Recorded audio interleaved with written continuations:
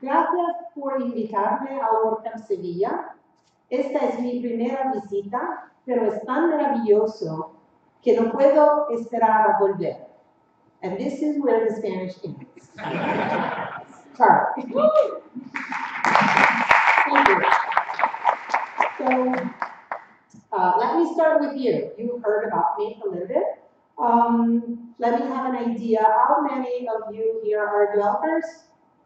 Raise your hands. Not me. okay. How many designers? Oh, cool. And how many marketers? Cool. Um, well, hello, friends. Because you do know you're all friends today. We are all friends today. Um, I've been introduced already. This is what I do. It sounds like a lot, but I actually really do all that stuff. And this is the three representations of me that I use. And you will understand what I mean with that um, in a little while. So we're going to talk about three things today. The first thing is going to be what a brand is and what is not, because there's a lot of misconception about that. Second, I'm going to briefly show you how the concept of branding has was born and has evolved. And then I'm going to give you my recipe to create and build your brands. So let's start. Usually when people see this slide, they kind of go like this. Um, and what I mean with this slide is that how many of you use the term brand and logo as synonyms? Thank you, the courageous only hand, because I know you all do, we all do, but it's wrong. A brand is not a logo, and a logo is not a brand. Let me show you. What is this? Nike, right. Um, this is Nike, right? This is Nike. This is the attitude, the style. Um, this is their mission. This is their stated mission on their website. So you see, this is Nike's logo, but this is Nike's brand. Okay? Let me give you another example. And those of you who recognize this, don't say it out loud. Do you, who knows what this is? Okay? So this is a logo, by all means. But this is the brand. Okay? This is the logo of the New Zealand All brand, All Blacks, not All Brands. Um, but this is the All Blacks, right? The haka, the way they play rugby, the play, the way they make you feel. Not if you need them at night, but that's another thing. Uh, so the point is that the logo is the representation of a set of intangible values that set a company or a product apart from the rest. So the brand is that set of intangible values. To borrow from Ann Handley and Ze Frank, the brand is the emotional aftertaste that comes after an experience with a product or a service or a company or a person or an entity. Think of, think of my computer slowly going down on the floor. No, don't think about that. Think of a logo as a two-dimensional icon that represents a multi-dimensional experience, the brand. So if you look at any of these, I'm sure you recognize some of these companies or products, and you would get feelings. They could be good feelings or bad feelings, but you get feelings. So the logo is what represents those feelings, but it's not those feelings. So how did we get here? Branding has evolved uh, and we will see in what a huge way. So, the first practice of branding can be traced back to 50,000 years ago, and it was used for ownership. The purpose was to, to establish what belonged to whom. And we have proofs in the cave paintings, these are from the Lascaux caves that date about 50,000 years ago. Uh, there's pictures of uh, marked cattle. You see it there? Um, and there's more. I just didn't put all the you know, pictures in there. Um, all properties considered precious were marked, were branded with, with the owner's marks. By 2000 BC, owners switched to a more permanent method, and that is burning. Egyptian funeral documents uh, and monuments de depict uh, branded cattle, cattle being branded. And this is the tools that they're used. And in fact, the word branding comes from the Old Norse, uh, brander, which means to burn. The second purpose that branding uh, solves was to establish a product's origin, along with transferring information as to who or where a good was produced. Kind of like a label today would do. Uh, the practice was spread worldwide. Um, engravings were found good from China, India, Greece, Rome, uh, Mesopotamia. Uh, some of the earliest known marked pottery, this is from China, dates back more than 5,000 years. And archaeologists have identified over a thousand unique potter's marks that were used the, during the first three centuries in the Roman Empire.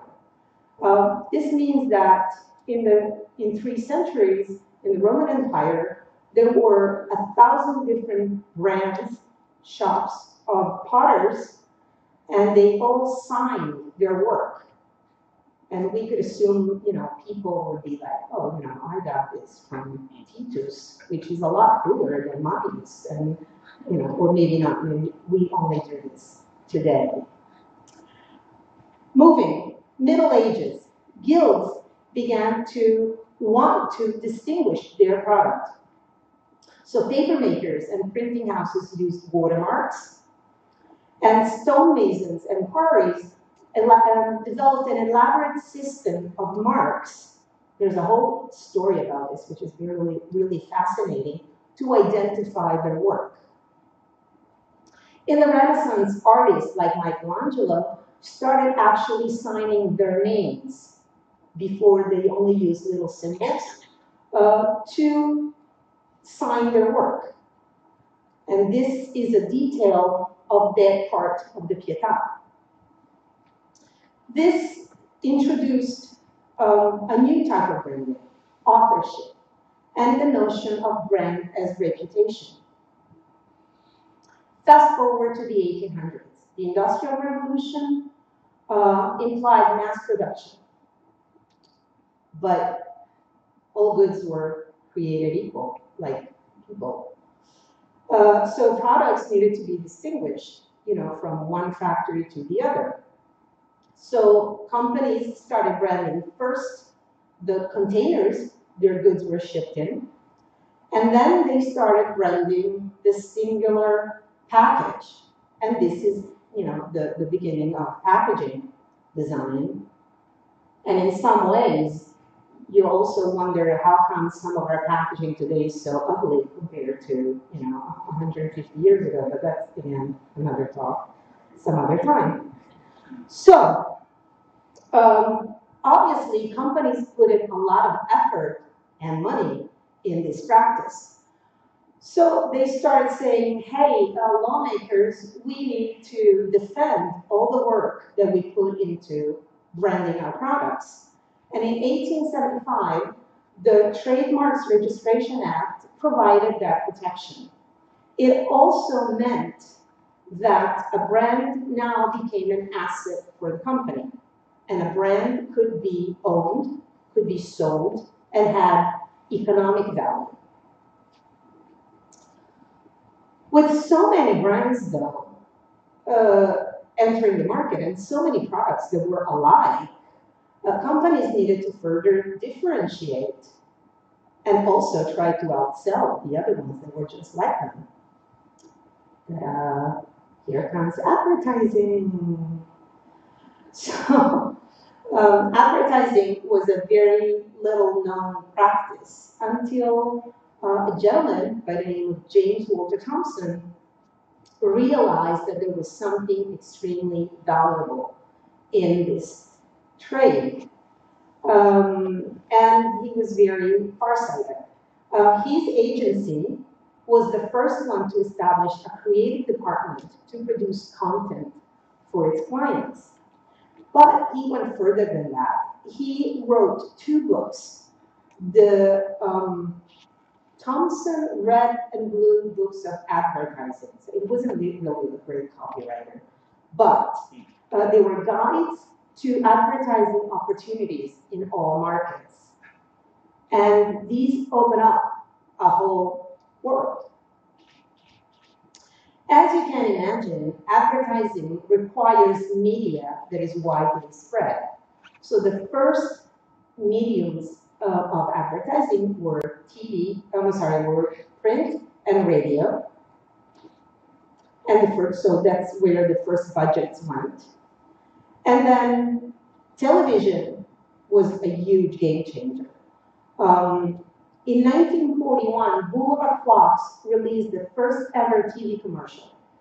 Uh, by 1952, so 10 years later, ad revenue surpassed magazine and radio combined. And this ushered in what's known as the golden age of advertising, which is also known as the Mad Men era. In the 50s and the 60s, um, advertising evolved. You know, it, it was now about 30, 40 year old and had the time to uh, evolve. And it went from being a unique selling proposition meaning, hey, I exist, buy me, you really need me, buy me, to uh, emotional selling proposition. Because companies realized that just putting a logo on a product and saying it exists wasn't sufficient anymore. So the communication had to be emotional in an effort to give the product's personality. In the 70s, television sets were common. They were everywhere. Every household had at least one. Consumers became very brand conscious, and by the 80s, brands had become status symbols. And the formula was very clear. Good commercial, massive spending, and that's it. Your brand became really popular really fast. In the 80s and 90s, companies began to understand that they had to cultivate their company brand, not so much so than their product's brand. And they started uh, focusing on corporate identity and advertising the company as a source uh, and establishing as a good source for their products. But it is between the 1990s and the 2010s that things once again totally changed. Uh, the digital revolution made it so that by the end of the 1990s, internet was widely available, at least in Western countries. And in little over two decades, our entire way of communicating and interacting with each other and with the brands has completely changed. In terms of branding, this has had two major implications. The first one is that there's nowhere to hide. Information is out there. People are watching, people are recording. And so blunders are bigger. And companies need to be very careful. They need to stay alert and they need to avoid scandals because scandals equal loss of equity. Remember that value that um, the act gave to brands?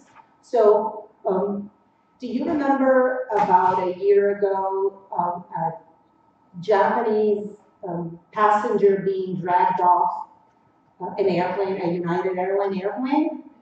Okay, whenever something like that happens, the first thing that happens is the company's stock plummets. So whenever companies screw up, they get hit financially right away. So they have to be careful. The second implication is that with internet, blogs, and social media, we are all brands now. And we can all access, you know, potential instantation, instantaneous limelight and become really famous. But we can also get trolleyed and, you know, abused online. So we need to learn to stay in this environment. Nonetheless, we can all become very popular, potentially, and we can become influencers, which is what kids want to do now. And, you know, when, when I was young, kids wanted to either be soccer players or models. Girls wanted to be models. Come on. Um, now kids are like, that's work. I just want to hang out and do videos and have people, you know, watch my videos and get rich from it. So here's some kids who did very well.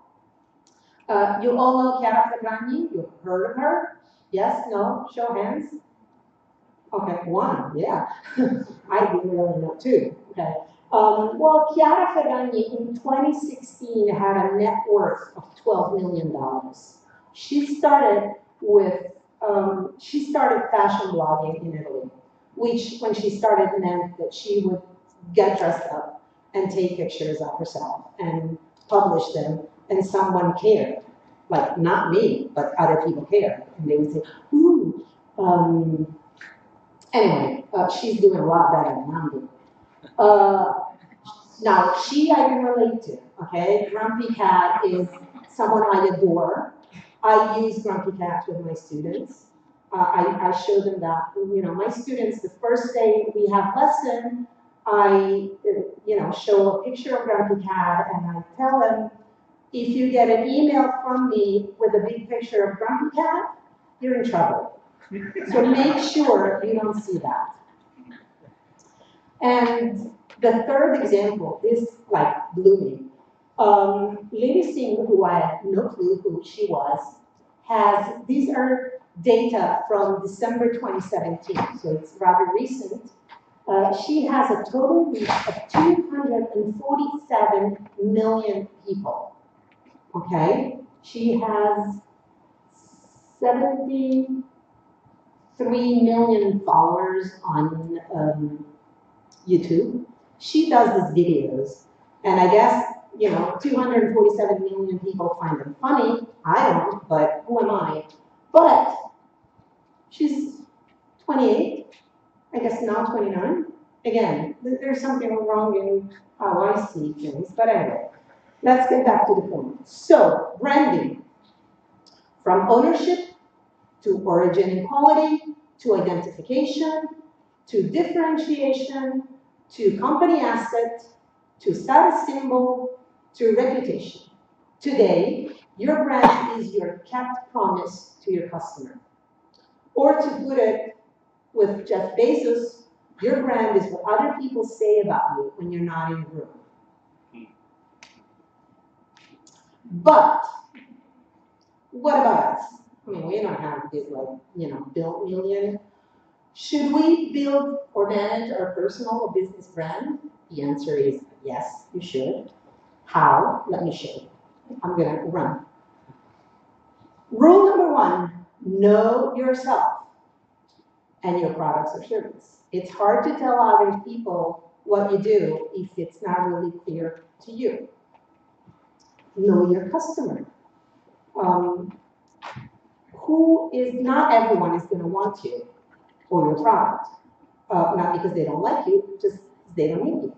So you need to know who needs you, whose life you can make better, and talk to them. Know your market. Know which pond you're swimming in. What else is there? Know your competition. have a clear vision. You need to, you need to know, it's like when you're taking a road trip. Even if it's only, you know, a general direction, you need to know where you're going in order to get there. You have to have values and you need to stand by them. Remember United Airlines. Keep your promises. People will know if you don't. Have a plan. Again, road trip. You can't just like get up one morning and say, I'm gonna do this. You know, it, it's, it's strategic. You have to get your strategy together and then apply it, not the other way around. Now, only now, at this point, where you need to give your brand an appropriate personality, is when you get to work on your logo. Your logo does not appear up until now. And the way you can convey your brand's personality is through graphic design, and the key is consistency. The tone of voice, and the key is coherence. Communication, how, where, and in which way you communicate with your audience.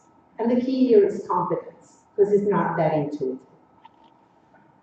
Fourth is how you treat your customers, how you talk to them, how you answer them, how you support them. The key is service. Back to the main list, don't skip. I mean, you don't have to have a huge budget, but you can't expect this to be done for free by itself. Work hard, stay consistent, chat often. Like all valuable things, it's going to take effort. Lastly, this is not mandatory, but I highly recommend it. Uh, be aware of yourself, of your surroundings, of the people that you interact with. Be present. Be mindful. And if your brand is a personal brand, steps one through seven apply just the same. Rules nine through 11 apply just the same. Rule number eight, you are your brand. It should have your personality. Opportunity occur, but it has to be true to yourself. A brand is an organic, living, breathing being. It's alive. It needs care and nurturing to grow and to prosper. You need to give it your best. You need to love it and foster it and care for it. And if you step on a food, and we all do, and not once, own it, apologize, fix it as best as you can, and mostly learn from it. Thank you.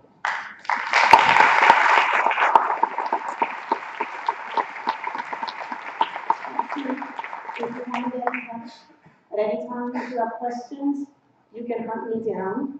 Um? And here are the slides if you want to take a picture.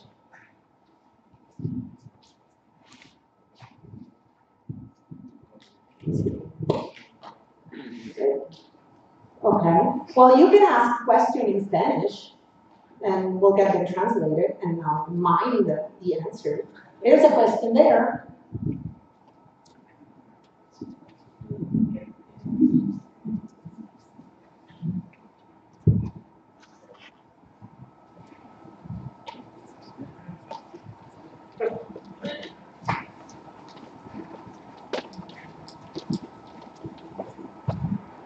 Hi, thank you for your talk. I'm trying to speak in English. I'm Thank you.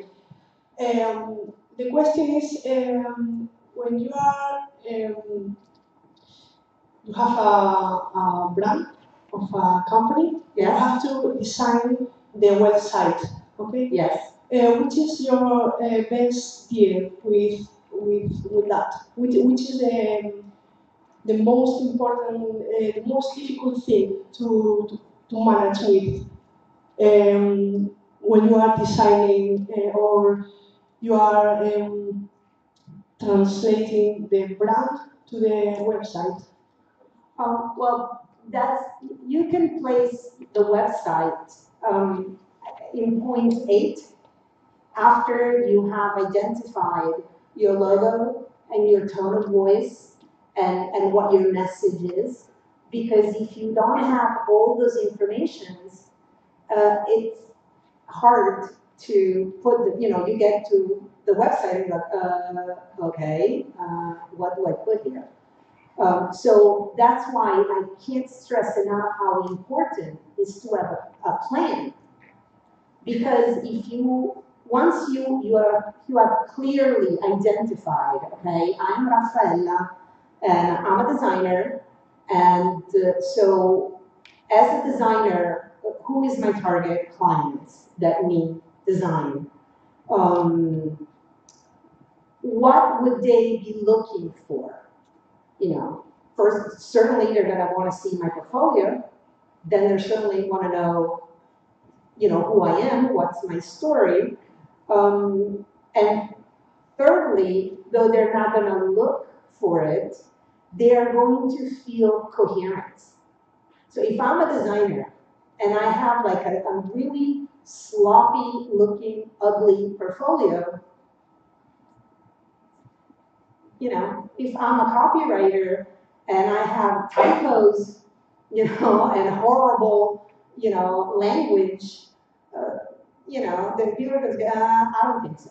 Um, so it's really important that we see our logo and our website has our, our us translated into a digital experience and that what we sell, we have to do first for ourselves.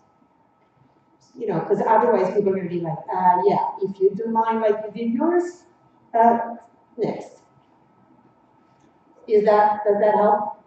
Thank you. You're welcome.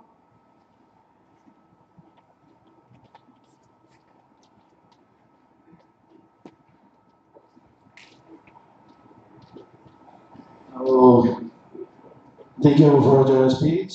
I like it.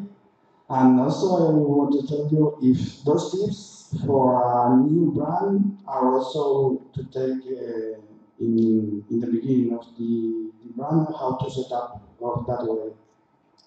Um, well, whether you do a, a, a brand, a new branding or a rebranding, um, the, the process is really the same. Okay, it's really important that you start with with that strategy, points one through seven. You know, what is this brand about? You know, what I'm going to use me. You know, I, but I mean me, the brand, me, the the, the, the thing that I that I need to create a brand for. So, what do I do? What do I do?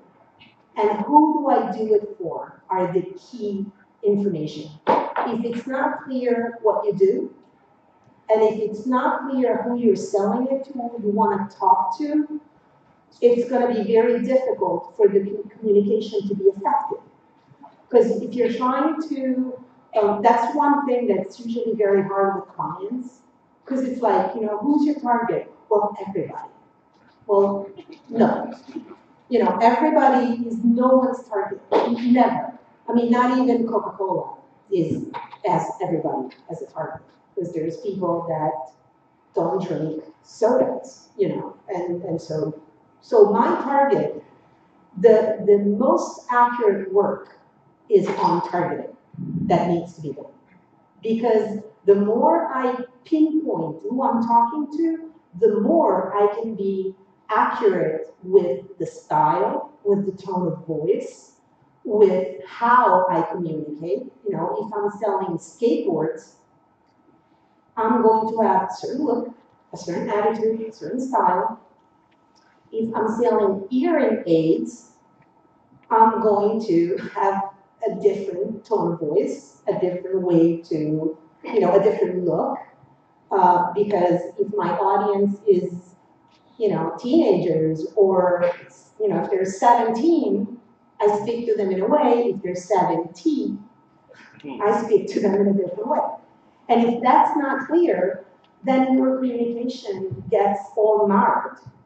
Because people think, well, I would like that. But who gives a cuckoo? You know, it's not you. That's the other thing that we all have to be careful. You know, that's as designers al- also, you know, we are not necessarily our targets.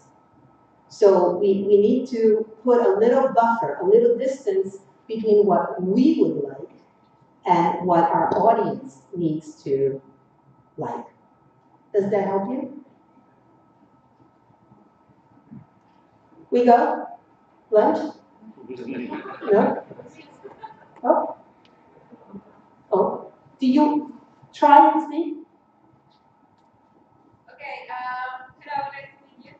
We, we need Uh, I have a Oh. Oh, okay, so we need to go, but, I'm sorry, we, I need to leave room, but I'll be outside and I can answer all your questions, no thank you. okay? Thank you.